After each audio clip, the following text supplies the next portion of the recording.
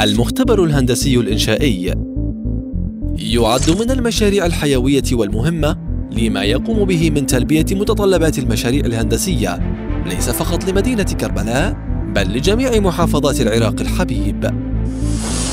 تأسس المختبر الهندسي الإنشائي سنة 2011 وحصل على مرتبة استشاري هندسي في جميع الأمور الهندسية.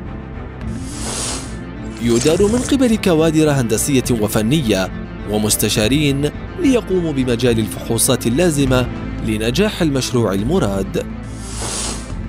تقييم جودة المشاريع من ناحية الفحوصات المختبرية والوقوف على طبيعة نجاحها وفشلها.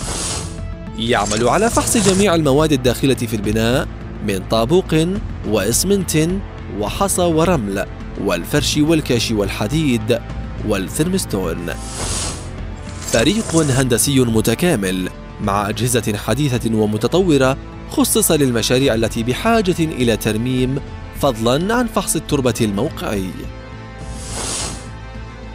يعمل بنظام الجودة العالمية وحاصل على الأيزو 17025 المختبر الهندسي الإنشائي تفوقت نتائجه وبامتياز طبقا للمواصفات الهندسية العراقية والبريطانية والأمريكية.